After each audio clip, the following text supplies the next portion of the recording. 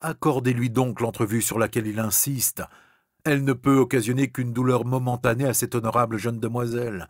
Et cette peine d'un instant est-elle à comparer avec l'effusion de sang qui peut résulter d'un refus? Je le répète encore, consentez à ma demande. Il est de mon devoir d'agir en ce moment comme médiateur, comme pacificateur. Consentez-y. Jamais répondit Lady Ashton, dans le cœur de laquelle la surprise et la terreur avaient fait place à la rage. Jamais cet homme n'aura un entretien secret avec ma fille, avec la fiancée d'un autre. Sortira d'ici qui voudra. Quant à moi, j'y reste.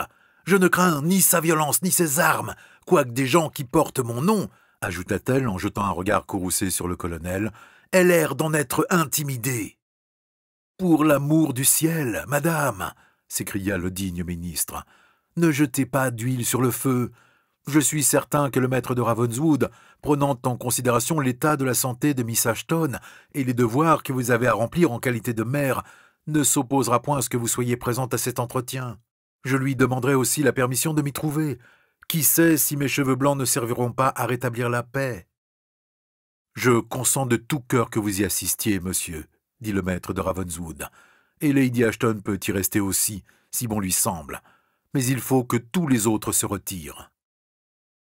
Ravenswood, dit le colonel en passant près de lui, vous me rendrez raison de cette conduite avant qu'il soit longtemps. Quand il vous plaira, répondit Edgar. Mais auparavant, lui dit à son tour Bucklow, n'oubliez pas que nous avons un compte à régler ensemble, et qu'il ne date pas seulement d'aujourd'hui. Arrangez cela comme vous l'entendez, répondit Ravenswood, mais laissez-moi en paix aujourd'hui.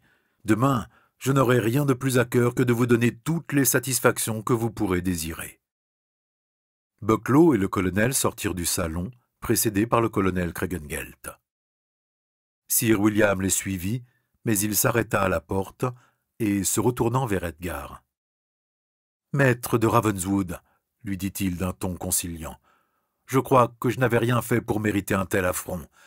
Si vous voulez remettre votre épée dans le fourreau et me suivre dans mon cabinet, je me flatte de pouvoir vous démontrer, par les arguments les plus satisfaisants, l'irrégularité de votre démarche, l'inutilité de... Demain, monsieur, demain, s'écria Ravenswood en l'interrompant.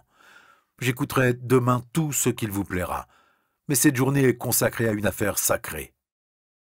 En même temps, il fit un geste de la main pour lui montrer la porte, et Sir William se retira.